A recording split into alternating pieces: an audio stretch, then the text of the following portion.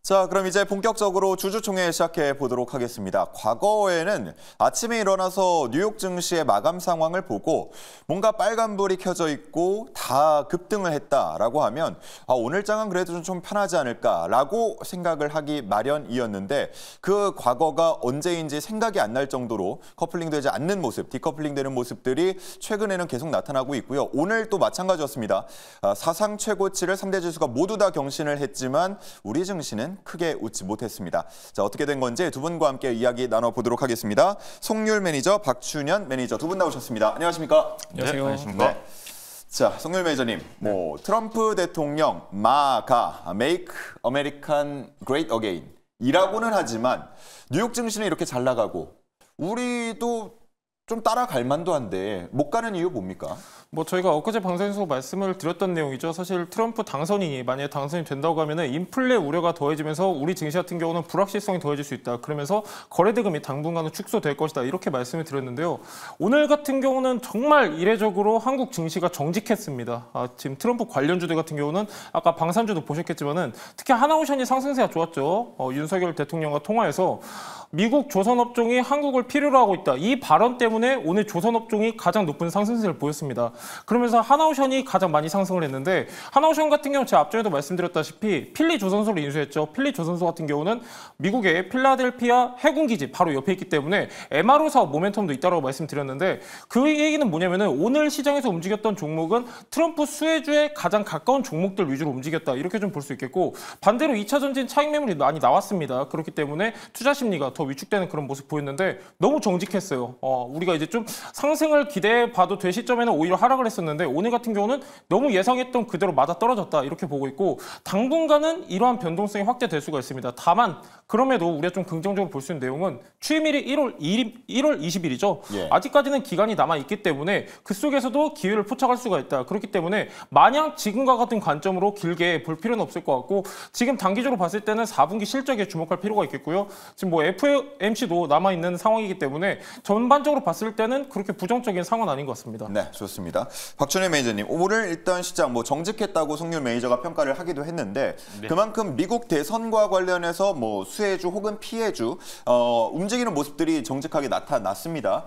어, 그러다 보니까 투자하시는 분들, 트레이딩 하시는 분들은 아 근데 이거 좀 정치 관련된 뭐 테마로 좀 엮여 있다 보니까 급등락 워낙 심해서 나는 안 하고 싶은데 근데 할 게 없네라고 생각하는 분들 있을 수 있거든요. 지금 네. 상황에서 뭐 이렇게 관련주로 엮이는 업종 테마 투자는 괜찮습니까? 어, 제가 생각하기에는 지금이 또 가장 적기이지 않나라는 적기다. 네, 생각을 해보도록 하겠습니다. 어, 지난번에도 제가 며칠 전에도 우리 도전 템베거 방송에 나와가지고 제가 드렸던 말씀 자체가 어, 저는 뭐 정치적으로는 아무 색깔이 없습니다. 아무 색깔이 없는데 그냥 주식하는 사람 입장으로서 어, 트럼프 후보가 만약에 당선이 되면 매매할 거가 많아진다. 업종 자체가 많아질 거다. 뭐 남북 경협주도 있을 것이고 지금처럼 뭐 우주항공이라든가 뭐 조선 기자들은 솔직히 생각 못했습니다. 어, 이렇게 뭐 또 우크라이나 재건주라든가 뭐 방산주, 뭐 로봇주 또 어, 이번에 뭐 5G까지 오늘 또 움직였습니다. 예. 네, 5G까지 움직였고요. 어, 또 테슬라가 또 그만큼 또 오늘 효자 노릇을 했습니다. 어, 그러다 보니까 지금 뭐 우주 항공이라든가 이런 쪽도 같이 움직였는데 어, 저는 지금 여러분들 뭐 다른 거 생각하지 마시고요. 그러니까 전반적인 시장 자체는 저는 지수는 잡혀 있다. 사방과 하- 상방과 하방은 잡혀 있으니까 지금은 종목 선택에 집중하시면 된다라는 말씀을 다시 한번 드리고 싶습니다. 괜히 비싼 종목도 급등락 심한 종목도 위에 올라가서 따라가지 마시고요. 지금 저점 에서 움직이고 또 추세 돌려주는 종목들 많이 있으니까요. 그런 종목들 위주로 한다면은 어, 저는 지금 지금이 저는 오히려 트럼프 트레이딩의 마지막 불꽃을 태워야 되지 않을까 라는 말씀을 드려보도록 하겠습니다. 네, 좋습니다. 자, 그래서 오늘 두 분이 또 발제를 해주신 주제들도 이 미국 대선과 관련이 있다고 볼 수가 있겠는데요. 첫 번째 주제부터 만나보도록 하겠습니다. 자, 첫 번째 안건 바로 신재생 에너지입니다. 뭐 가면 갈수록 전력은 많이 필요한 상황인데 어, 트럼프는 그렇게 얘기합니다. 바이든 행정부의 신재생 에너지 정책 때문에 전력 가격이 올랐다. 인플레이션을 부추겼다. 이런 얘기를 하고 있고 지금 뭐 그렇다 보니까 석유, 천연가스 뭐 총동원해서 일단 전력 가격 낮추는 데에 좀 주력하겠다라는 입장인 건데 어떻습니까? 신재생 에너지 지금 투자를 하자라고 해서 가지고 오신 거죠? 예, 맞습니다. 신재생 에너지가 앞으로 더 빠질 것 같습니다, 사실. 네, 지금도 이제 계속해서 차익 매물 나오고 있고 오늘 같은 경우도 어느 정도 반등 나오는 종목도 결국에는 윗꼬리가 달렸습니다. 그럼에도 불구하고 신재생 에너지 같은 경우 우리가 계속해서 주목할 필요가 있습니다. 이미 대다수 국가, 특히 북미, 유럽을 중심으로 2030년까지 기존의 어, 화석 에너지 비중을 낮추고 신재생 에너지 비중을 높이겠다라고 발표를 하고 실제로 이행을 하고 있습니다. 그러면서 풍력과 태양광 같은 경우는 계속 수요가 확대가 되고 있어요. 물론 이제 앵커님 말씀하신 내용도 중요합니다. 트럼 프 당선인 같은 경우는 가장 효율이 낮은 게 어, 신재생 에너지 중에서 풍력이다라고 얘기를 했거든요. 이 얘기도 틀린 얘기는 아니에요, 사실. 아닌데 그럼에도 불구하고 신재생 에너지 같은 경우는 구조적으로 성장할 수밖에 없는 패턴에 이미 접어들었습니다. 그렇기 때문에 계속해서 성장할 수밖에 없는 산업군이고 이번에 최근에는 좀 많이 눌릴 거예요. 눌릴 건데 어, 우리가 계속해서 부정적으로 볼 필요는 없다라는 얘기거든요. 예를 들면은 우리나라 같은 경우는 뭐 태양광 패널 같은 경우는 중국에 많이 뺏겼습니다. 실제로 지금 우리나라 같은 경우는 점유율에 큰 편차를 보이고 있지 않은데 그럼에도 불구하고 풍력 같은 경우는 강세를 나타나는 종목들이 굉장히 많아요. 그렇기 때문에 풍력은 여러분들이 꼭 체크하시면 좋을 것 같고 이번에 매물이 나오는 거는 장기적으로 볼 게 아니라 단기간의 차익 매물로 보는 게 맞는 것 같고요. 그 안에서도 종목 간에 어, 약간 편차는 심할 것으로 보고 있기 때문에 실적 중심으로 판단하시면 좋을 것 같습니다. 네, 좋습니다. 일단은 뭐 해리스 수혜주로 꼽혔다고 해서 완전히 외면하지는 말자. 분명히 저점으로 떨어지는 순간 이게 위기가 위기가 기회가 될 수 있는 순간이 온다라는 관점에서 오늘 발제를 해 주신 것 같고요. 자, 그렇다면 종목을 또 잘 선별을 해야겠는데요. 두 분이 가지고 온 top pick 종목은 무엇인지 확인해 보겠습니다. 어, 풍력 얘기를 해 주셨으니까요. CS 윈드가 나왔고 이쪽은 G, G2 파워가 나왔어요. 자, 일단은 우리 CS 윈드를 들어보기 전에 어, 상대가 가지고 온 G2 파워는 어떻게 보십니까? 잘못된 것 같습니다. 오늘 신재생 에너지인데 G2 파워 누가 들어도 저거 원전이거든요. 예. 제가 아까 매출 비중을 여쭤봤는데 잘 대답을 못 하셨어요. 예, 반칙인 것 같습니다. 알겠습니다. 뭐 가지고 온 그래도 이유가 있을 테니까 잠시 후에 들어보도록 하고요. CS 윈드 한번 먼저 들어보죠. 예, 가장 잘 맞는 종목입니다. 사실 우리 기업들 같은 경우에는 강세를 나타나고 있는 분야가 있다라고 말씀을 드렸는데 그 중에 하나가 CS 윈드죠. 글로벌 풍력 타워 1위 점유율을 랭킹을 하고 있습니다. 지금 얘 같은 경우는 글로벌 점유율을 17% 정도 로 유지하고 있고요. 전체 매출 비중 중에 90%가 북미와 유럽에서 발생을 하고 있습니다. CS 윈드 같은 경우는 단순히 타워에서만 끝나지 않고 하부 구조물 업체들을 계속해서 인수합병을 하고 있습니다. 대표적으로 블라트가 거기에 속하는데 이번에 3분기 실적 굉장히 잘 나왔습니다. 그 안에서는 하부 구조물 업체들의 실적도 포함이 되어 있기 때문에 지금 전반적으로 시너지 효과가 본격적으로 매출에 인식이 되고 있다. 참고하시면 좋을 것 같고요. CS 윈드 같은 경우는 어, 글로벌 터빈사들을 주요 고객사로 두고 있습니다.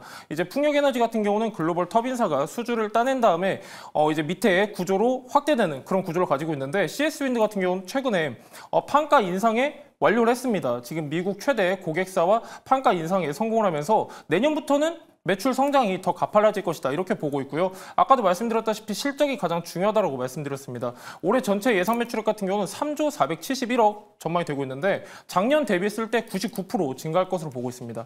영업이익 같은 경우도 160% 정도 증가할 것으로 보고 있기 때문에 눌림목 구간에서 여러분들이 분할 매수 관점 보시면 좋을 것 같습니다. 네, 뭐 CS 윈드가 내수 쪽보다는 미국, 유럽 쪽의 매출이 워낙 크다 보니까 이게 어떻게 작용할지 이제 아마 투자 포인트가 될 것 같고요.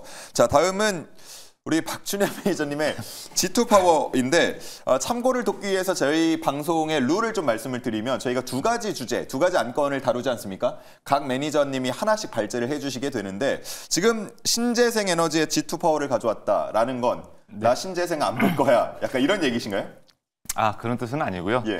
어, 지금 이 G2 파워 자체가 보면 지금 차트 자체가 저는 이제 주로 어, 기술적 분석과 기술적 분석의 두 가지 보통 분석을 하는데 네. 저는 이제 기술적 분석이 조금 더 비중이 좀 더 높습니다. 음. 어, 그러다 보니까 음. 가, 그 신재생 쪽에서 그래도 찾아보다 보니까 연관된 종목들을 찾아보다 보니까 오늘 G2 파워가 차트가 가장 이뻤다 제 눈에는 이렇게 예. 좀 말씀을 좀 드리도록 실제로 하겠습니다. G2 파워가 뭐 원전 관련주로 워낙 이미지가 강하긴 한데 네. 홈페이지 들어가 보면은 신재생 관련된 내용도 많긴 해요. 네, 어, 지금 뭐 태양광의 중대 재 어, 예방 솔루션을 더하다. 그리고 뭐 PV 선로에 어, DC 아크 검출형 태양광 발전 시스템도 만들고 있다. 지금 제가 여기 홈페이지를 보면서 말씀을 드리고 있는 거고요.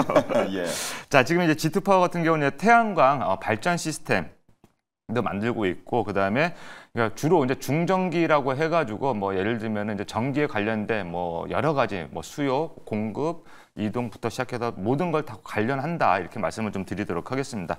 자 그리고 어, 중요한 건 이제 제가 이제 신재생 쪽으로 가져온 이유는 뭐냐면은 어, 태양광 발전소를 설계 또 조달 그다음에 일공 시가를 하는 사업도 영위하고 있다라는 거 여러분들이 좀 참고해 주시면 좋겠고요. 어, 무엇보다도 좀 기술적 분석상으로도 보시면은 메이저 수급이 지금 유입이 되고 있다. 보통 저는 이제 유입이 예상되고 있다라든가 아니면 메이저 수급이 상존하고 있다라고 음. 이렇게 상존 예상이다라는 표현을 많이 쓰거든요. 예. 근데 이 중에 보면 이 종목은 어, 지금 유입이 되고 있다 이렇게 말씀을 좀 드리도록 할 테, 하겠습니다. 네, 잠시 후에 차트를 보면서 좀 더 구체적인 얘기 한번 들어보도록 하고요. 자, 이렇게 해서 두 가지 종목에 대한 선정 이유를 들어봤습니다. 자, 이제는 주주들의 이야기를 들어볼 차례인데요. 종목 토론방이죠. 종토방에서는 어떤 얘기 오가고 있는지 secret 주주 시간 통해서 알아보도록 하겠습니다. 네, 실제 주주들의 생생한 이야기 들어보는 secret 주주 시간입니다. 먼저 첫 번째로는 CS 윈드 토론방 입장해 보도록 할게요. 네, 실적 잘 나왔잖아. 대형 수주 공시도 나왔잖아. 그만 내려가 라고 올라와 있습니다. 오늘 실적 공개됐는데요. 영업이익이 전년보다 160% 급증을 했고요. 또 1조 5천억 원대 미국발 수주도 있었는데 대선 여파 못 이겼다라는 내용 올라와 있습니다. 그리고 또 트럼프 지지자의 78%가 IRA를 찬성한다. 오히려 기회입니다 라고 하는데요. 사실 트럼프도 기후 정책 무시 못한다. 이 이야기 있던데 잠시 뒤에 흐름 더 들어보면 좋을 것 같습니다. 그리고 또 기관들이 엄청 던졌네라고 하는데요. 오늘까지 외국인 기관 3거래일 연속 매도세를 보였습니다. 그럼 다음 장에서도 이야기 계속 들어보시죠.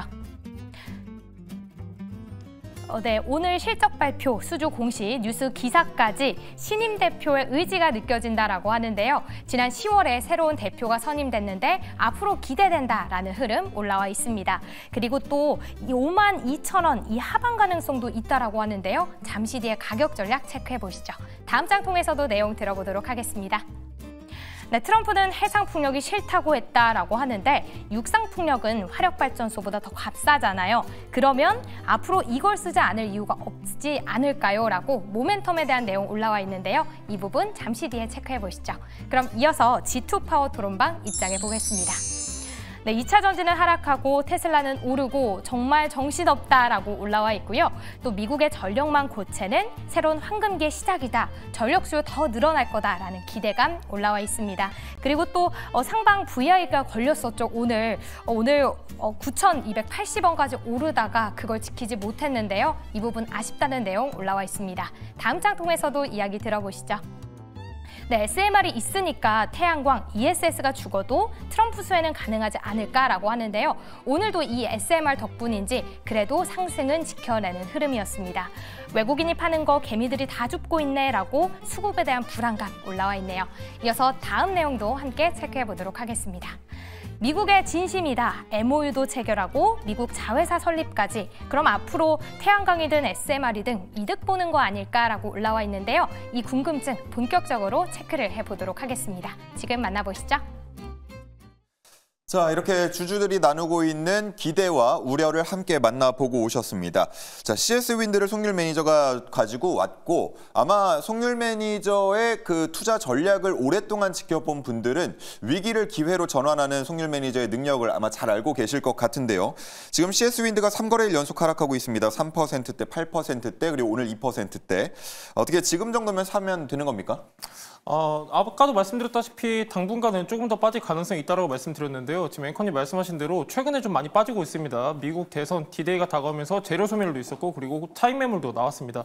아, 앞으로 조금 이어질 가능성이 높지만은 충분히 저는 매수 메리트 있다라고 말씀드리고 있는 게 아까도 말씀드렸다시피 실적이 굉장히 좋습니다. 실적이 좋고 지금 대규모 해상풍 아 이제 해상풍력 프로젝트들도 앞두고 있는 상황이기 때문에 수주 모멘텀이 더해줄 수 있는 종목이고 아까도 말씀드렸다시피 하부 구조물 업체들을 굉장히 많이 인수 합병을 했습니다. 최근에 이 시너지 효과가 본격적으로 매출에 인식이 되고 있다. 올해부터입니다. 그렇기 때문에 추가적으로 실적 우상향도 기대감이 더해질 수 있기 때문에 눌림목 구간에서는 계속해서 참고하시면 좋을 것 같습니다. 네, 좋습니다. 이런 종목일수록 이런 타이밍에는 가격 전략이 중요할 것 같은데 잠시 후에 차트 보면서 가격 전략 들어보도록 하고요. 자, G2 파워 앞서서 뭐 유입 중인 것 같다. 어, 메이저 수급이 유입 중인 것 같다라고 네. 분석을 해주셨는데 어떤 점 때문에 그렇게 보신 건지 한번 분석을 해주시죠. 네, 일단 뭐 차트를 먼저 잠깐 보면서 말씀을 드릴까요? 그러면 자 유입 중이라고 말씀을 드렸던 이유가 뭐냐면은 자 일봉 차트를 한번 보시면서 말씀을 드리겠습니다. G2 파워의 일봉 차트인데요. 자 앞부분에 지금 보시게 되면 차트를 좀 볼 줄 아시는 분들이면 아 이 부분이 상당히 지금 눈에 거슬릴 겁니다. 지금 어. 동그라미를 쳐드렸는데 어, 거래가 많이 터졌습니다. 그리고 윗부분에서 지금 윗꼬리를 달았습니다. 윗꼬리를 달았다라는 이야기는 어, 누군가는 여기서 매도를 했다라는 이야기인데요. 거래량이 붙었기 때문에 이날은 매도가 좀 많았다. 음. 라고 표현을 합니다. 저도 물론 그렇게 표현을 합니다. 어, 근데 지금 유입 중이다라고 제가 말씀을 드렸던 부분이 뭐냐면 지금 최근 오늘 거래일과 오늘과 전 거래일에 보시게 되면 어, 이 앞전의 이 거래량만큼 지금 거래가 발생을 하고 있습니다. 발생을 하고 있는, 있, 있는데 오늘 뭐 윗골이 달았다는 거 조금 뭐 아까 뭐 VI 걸리고 상방 VI 걸리고 뭐 조금 내려갔던 게 아쉽다라고 했지만 오늘은 지금 빠져나간 수급이 거의 없습니다. 이 앞부분에 이 수- 매물 있죠. 이 지금 가격대를 본다면 한 9,000원에서 9,500원 사이에 강력한 매물이 하나 있는데 이거를 지금 저는 소화 중이다. 이 소화를 메이저 수급 아니면 일반 개인들은요 이런 매- 수급을 매물을 소화할 수가 없습니다. 그렇기 때문에 지금 저는 그 소화한다라는 의미가 뭐냐면 이 거래량을 보고 아 여기서 지금 소화를 하고 있습니다. 이게 만약에 거래가 지금 뭐 요만큼 정도 뭐 진짜 눈에 보이지도 않을 만큼 뭐 이 정도 거래가 발생했다라고 하게 되면 아 이거는 뭐 매물 소화 과정이 아니라 매물 맞고 떨어졌다라는 표현을 합니다. 음. 근데 지금 거래가 지금 이틀 이 거래일 동안 지금 거래가 발생을 하면서 위 상단 매물을 건들고 있기 때문에 이거는 매물 소화 과정이다. 이 매물 소화는 누가 한다? 일반 개인이 할 수 없다. 어, 이건 메이저 수급이 들어오기 위한 어떤 한 부분이지 않나 이렇게 예상을 한다. 이렇게 말씀을 좀 드리도록 하겠습니다. 네, 좋습니다. 그럼 뭐 부분적으로는 저항이 걸릴 수 있겠습니다만 뚫고 올라갔을 때 어디까지 기대를 해 볼 수 있을지가 관건이 될 것 같은데요. 이제 차례로 가격 전략 한번 들어보죠. 자, CS 윈드 오늘 종가가 52,900원. 아, 그러니까 4거래일 전까지만 해도 6만 원대였는데 많이 떨어진 상황이거든요. 가격 전략 제시해 주시죠. 예, CS 윈드 같은 경우는 오늘 종가가 좀 많이 빠지긴 했는데요. 그럼에도 불구하고 충분히 매수 메리트 있는 가격대다라고 먼저 말씀을 드리고 싶습니다. 8월 5일 블랙 먼데이 가장 최근 저점이죠. 이때가 42,400원 나타내고 있는데요. 최근에는 73,500원까지 가기도 했습니다. 왜 이 말씀을 드리냐면은 얘 같은 경우는 4만 원부터 7만 원까지 한 300거래일 정도 계속해서 박스권 안에 움직이고 있습니다. 그 얘기는 뭐냐면 하단에서 잡고 상단 부근에서 매도하면 가장 베스트거든요. 어, 까다로운 부분은 아니기 때문에 참고하시면 좋을 것 같고 얘 같은 경우는 가장 중요한 단기 저항 매물대가 6만 5천 원대에 형성되어 있습니다. 그렇기 때문에 여러분들이 일단 목표가를 6만 5천 원 부근에 잡으시면 좋을 것 같고 손절가는 가장 저점 4만 2,400원 나타내지고 있는데 4만 4천 원, 4만 3천 원 부근이 가장 강한 지지 라인 형성되어 있기 때문에 여러분들이 전체적으로 봤을 때는 손절 라인은 4만 4천 원 보시면 좋을 것 같습니다. 네, 좋습니다. 목표가 6만 5천 원, 손절가 4만 4천 원 참고를 해 주시면 되겠고요. 자, 앞서서 우리 박준현 매니저님께서 차트 설명을 자세히 해 주시니까 우리 시청자분들께서도 어, 설명이 엄청 도움이 된다라고 말씀을 해 주시는데 가격 전략 짤 때도 이 차트를 잘 봐야겠죠? 네, 가격을 볼 때도 일단 뭐 위에 상단 매물이라든가 추세상 고점이 나오는 경우가 있습니다. 이제 그런 부분에서 이제 보통 저는 목표가를 잡습니다. 예. 자, 지금 어, 앞부분에 이 매물은 저는 이제 쉽게 뚫을 수 있을 거다. 왜냐하면 지금 오늘 거래가 터졌기 때문에 오늘하고 전거래일. 그다음에 여기 차트를 좀 줄여 보면은요. 차트를 줄여서 보면은 뒷부분에도 지금 거래가 터진 자리가 하나 있습니다. 이 자리에 분명히 최근에 아니라 어, 올 초에 이 종목을 매매하셨던 분이라면 저는 한 만 원 이상에서 아마 이 종목에 많이 어, 고통을 좀 받고 있지 않을까라고 생각을 합니다. 그렇다면은 앞부분에 이런 고점이 있어요. 이런 고점, 고점. 또 특히 여기는 거래가 터진 고점이기 때문에 매물이 상당히 많을 것으로 예상합니다. 그래서 목표가는 일단 12,500원 이 상단까지 말씀을 좀 드리도록 하고요. 하단 부위는 여러분들도 잘 아마 아실 거예요. 주식 한 2, 3년 하신 정 하신 분들이라면은 요 라인 깨지면 아 얘 좀 위험하겠구나라고 생각하실 겁니다. 그래서 그 라인이 어, 손절 라인이 7,000원이니까 어, 차분히 분할 매수 하시면서 여러분들 계좌에 많이 도움 되셨으면 좋겠습니다. 네, 전고점 12,500원까지 목표가 잡아보고요. 갭 상승이 나왔던 부근입니다. 7,000원에서는 손절 지키자라고 말씀을 해 주셨습니다.